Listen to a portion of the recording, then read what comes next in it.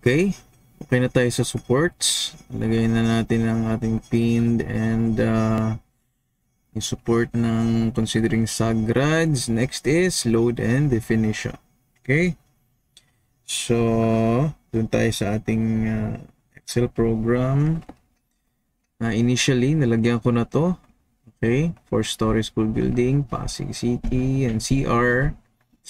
So, school building is an essential facility. Then, check. Yeah. So, public school buildings, essential facility. Okay. Essential, essential facility yung building category, level 4. Length ng building natin ay 55. Okay. Yan. And width niyan is 9 and a half meters. So 9.5 and 55. Yan. Okay. And then yung footing depth, 2 meters tayo. Uh, ground floor height, 3.15 and typical yan. Okay. Then sa wind category, since urban area to, B tayo. Okay. So kung check natin yung table, yun. So for surface roughness, B, urban areas yan. Kung saan maraming mga obstructions. So, yan. So, ang C is open terrain. Uh, medyo scattered yung obstructions, malalayo. And D, yung flat siya na walang obstruction. Okay? So, yung area natin fits roughness B. Okay? So, B tayo dyan. And then, yung bubong natin na design ng ating roof is yan. It's a pitch pitch roof. Okay, so pitch roof tayo dyan. Rise ng ating uh, truss. Okay. Check natin sa plan. Yun. So, rise niyan is sa mga 3.15. Okay. Tapos, yung width niyan is half nung ah, yung run niyan is half nung width ng building which is 4.75. And then, of course, wala tayong overhang kasi nga, yung overhang natin is the concrete gutter. Okay. So, wala tayong overhang. Zero yan.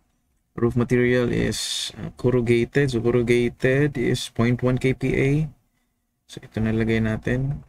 0.1 kPa. Medyo maliit. Yan. Okay, 0.1 kPa. Yan. And then, naglagay ako ng insulation, 25 mm thick. Clear span nating purlin, 5 meter yung ginamit ko. Dalawa yon 5 meter and 4.5. So, ito yon So, yan. So, yung 5 na yung ginamit natin. And then, spacing, 800 mm. Yan. Okay? So, once na input na yan, ito na yung values ng ating load. So, check natin. Yan. Okay? So, dito sa STAAD. Click load cases. Click add. Dead load tayo una. DL. And then, roof live load. Okay? So, nasa roof tayo. RLL. And then, wind. Okay. Wind load. Windward yan. And, leeward. Yun. Then, DL. Click add. Natin yung DL natin. So, combine na natin to since pareho silang kilonewton per meter and both are acting sa top chord as yung uh, roofing material and yung insulation. So, 0.1. Okay, negative 0.1 kPa. Ah, okay. Self-weight muna tayo. Y, add. Okay, kita natin doon. Add na yan. Then, go to member load, negative 0.1 kPa. Okay, global Y yan since gravity load. Then roof live load natin is it's member load also. And then yun. So, negative 0.48. Negative 0.48. Uh, global Y pa din yan. Yun. And then, so wind load. Okay. So, again, didesign natin yung zone 1 and zone 2. So, titignan natin ulit yung zone 1 and zone 2 sa ating roof uh, diagram. Yun. So, ito yung type ng roof natin. Gable roof. Okay. So, yung poorly na nandito yung i-design natin. Which, uh, nandun siya, nag-fall sa zone 1 and zone 2. Okay. So, yung zone 1 yung nasa gitna na portion or area. And then, zone 2 yung nasa end. Tapos, yung uh, extend or yung uh, sukat ng zone 2 natin is A. So, ano yung A na yan? Nandito yan. Auto-generated na yan sa program. Ito. so, A dependent yan sa ating rise, run, and sa iba pang factors. Okay? So, dito ang A is 0.95 meters. Okay? Iyon. Okay, so, so windward, zone 1 and zone 2. Ito tayo. Zone 1 and zone 2. Yan. So, same lang yan, 1.65. So, member load yan again, ulit. Downward yan, 1.65. And then, local. Okay?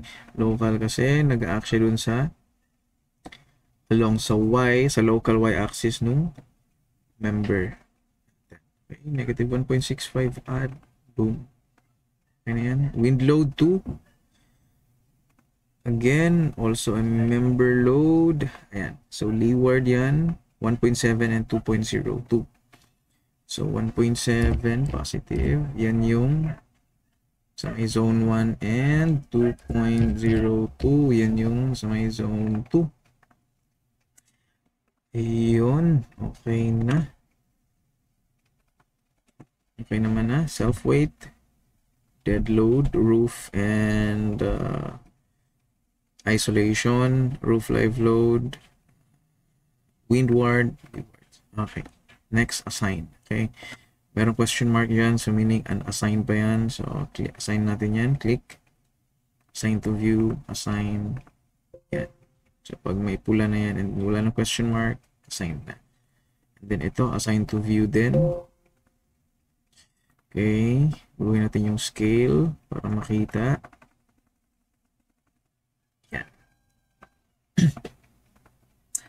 okay, and then roof live load. Assign to view pa din yan.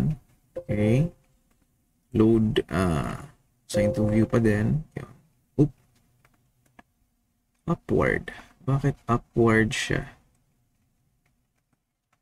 Hmm, okay. So, ang nangyayari dito, since yung beta angle natin is ni-rotate natin ng 213 degrees. So more than 180. Ang nangyari, yung local axis ng ating member, okay, tama. Yung local, local axis ng ating member, yan. Nabaliktad din. So meaning, ito yung member natin. Yan. Ito yung y niyan. Ito yung y-axis. Dito yung positive y pa downward. And the negative pa upward. Nabaligtad siya dahil ni-rotate natin. Okay, so mangyayari, i-reverse lang natin na, la, na lang yung sign ng ating wind loads. So ito, imbes na pa negative, gawin natin positive. And then, ito gawin natin negative.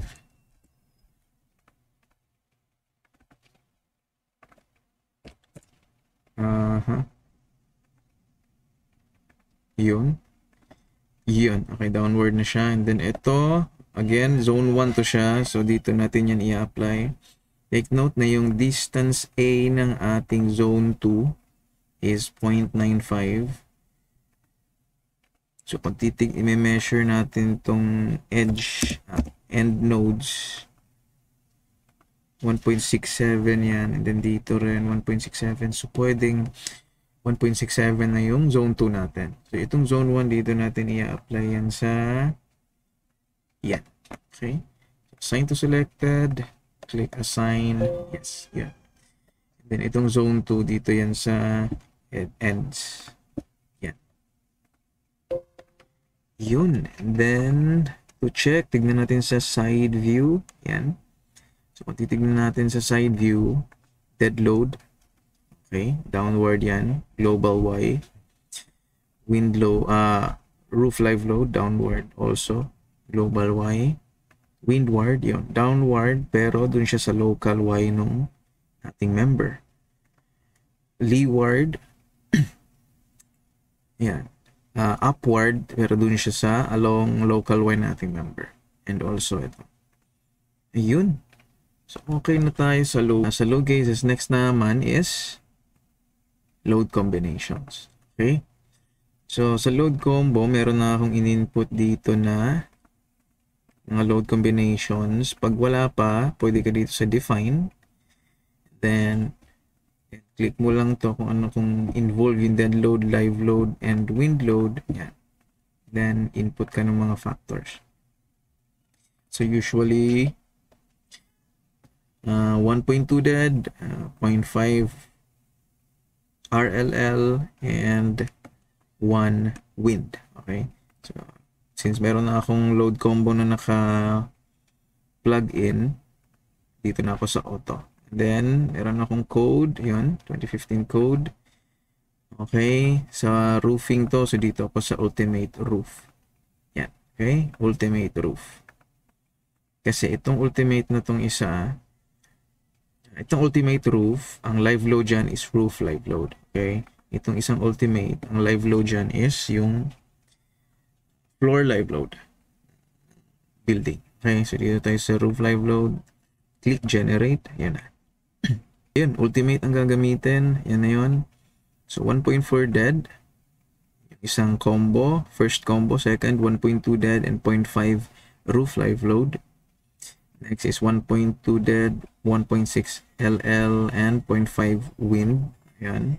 And dalawa yung wind na yan, windward and leeward. And the next combo is 1.2, 0.5, and 1. Okay. The next is 0.9 dead and 1 wind. Click add. Yun, generate na siya doon. And then, serviceability check para sa deflection ng ating purlin. Dito tayo sa service roof. Okay. Click generate. Yeah. Again, kaiba nung service dito and service roof sa roof is using roof live load. Then dito is yung floor live load tayo. Okay. So usually naman, ito naman gagamitin natin dyan. One dead and one L. Click add mo lang. Then go. Actually, tanggalin na lang natin tong dalawang roof live load. Okay, ito lang gamitin natin. One dead load and one live load. Service. Iyon.